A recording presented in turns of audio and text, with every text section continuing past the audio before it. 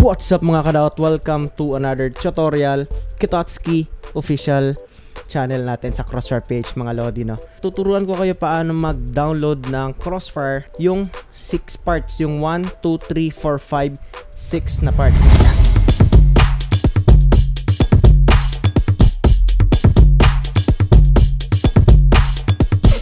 gayahin nyo po lang itong gagawin ko mga Lodi no. So madalian lang ito. First of all, make sure Google Chrome yung browser nyo. Go to settings dito sa top right corner, go to settings and then dito sa advanced and downloads.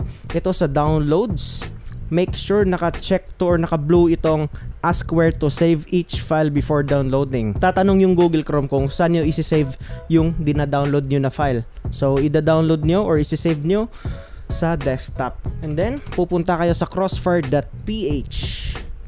And then, click download. Ito po yung 6-part download. Sa previous video ko, full client download yung aking ginawang video. So, ngayon, sa 6-part download. So, kailangan i-download nyo po itong 1, 2, 3, 4, 5, 6 na parts. Kailangan i-download nyo lahat.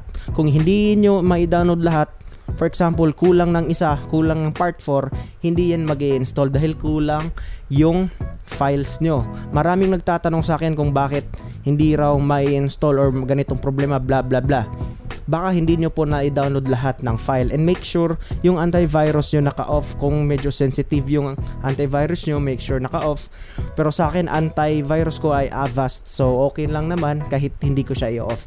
So ngayon i-download natin yung part 1 i-right click nyo and then open link new tab ito download 1.3 gig each file yan ha and then ito naka-check kasi yung kanina 'di ba yung ask where to save downloading so ito desktop natin, pwede tayong gumawa ng bagong folder. Gawin natin na CFPH 2021 installer September edition dahil September ngayon. Pero depende na sa inyo kung ano pangalan. I-click nyo yung folder na ginawa nyo. Yan. And then click save. And then click show all. Ito po yon.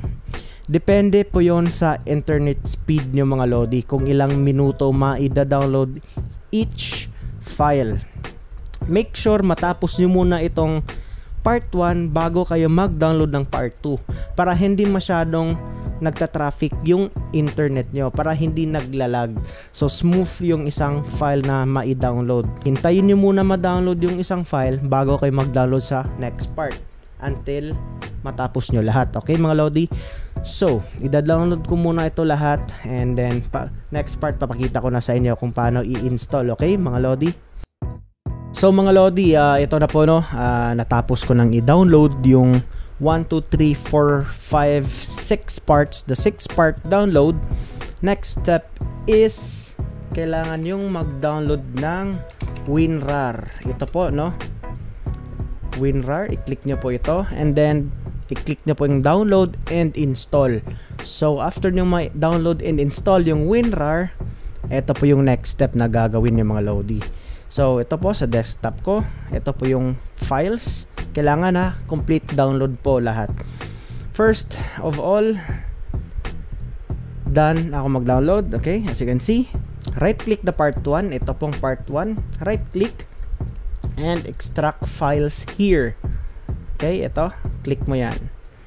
And then, maghintay ka lang ng ilang seconds or minutes, I guess. Depends on your computer, mga Lodi, no? So, hintay lang muna natin. So, mga Lodi, ito na po yung files, no? Na-extract na natin. Tapos na tayong mag-download. And na-extract. Babalik-balik lang yun? Ah. so, ito po. I-click nyo itong cfph underscore setup underscore 1421. Itong may logo ng crossfire. Yan po i-click nyo? Ah. I-right click nyo. Run as administrator. Click yes and I'm sorry lang nagbablock yung screen dahil sa OBS recording pero let's say yeah nag-click yes lang tayo okay? Madali lang yon so ito po i-select destination location kung saan nyo isi-save. Make sure po mga lodi yung local disk C nyo or local disk D kung saan nyo i-store or isi-save yung files ng laro ay may free pa katulad nito local disk C sa akin. Space free is 105 gigabytes or gig. So may space pa tayo. Make sure lang po mga lodi ha kasi maraming nagtatanong sa akin. Baka full yung disks nyo kaya or storage kaya hindi kayo makaka-install. So, the next step is hahanap kayo kung saan nyo isi-save. Pero sa akin, uh, yan lang po dahil naka default na yan. Click next and make sure you create a desktop shortcut. Click next and click install. And then for this part mga lodi no, hihintayin na lang natin kung ilang minutes ba. Hindi ako sure kung ilang minutes talaga pero hihintayin na lang natin until matapos siya mag-install mga lodi no.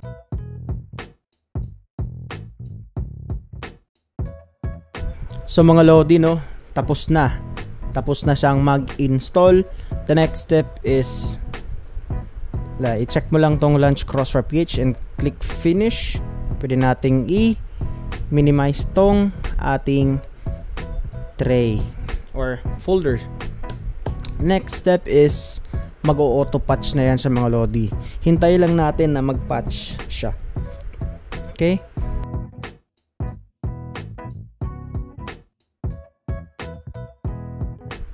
So mga Lodi, tapos na siya mag-patch. Um, ito lang po, uh, i-add ko lang to sa tutorial na ito.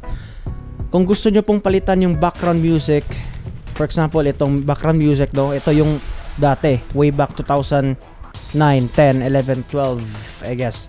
And yung old uh, sound ng mga mail char, yung Fire in the Hole, Roger That, Negative, yung mga dati, gusto nyong palitan, uh, pakiclick na lang po yung description sa baba. May links ako doon. Ibang tutorial video din yon So, sa mga interested lang po mga Lodi, no? So, yeah. Ito na po. Nag-login na tayo. To, login na tayo.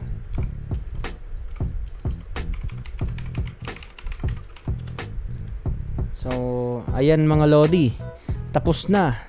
We're here in Crossfire. Alright.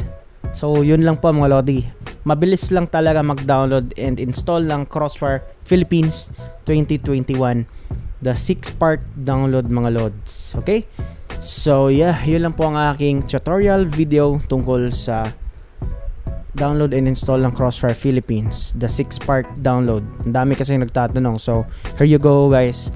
So make sure mag like kayo sa video na to. Make sure i-share nyo din sa mga tropa yung gusto mag Crossfire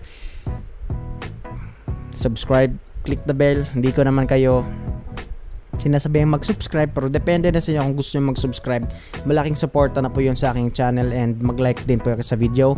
And make sure mag-like and follow ka sa Facebook page ko dahil almost 10,000 followers na tayo doon. So, yeah, we'll see you on the next tutorial video mga sir.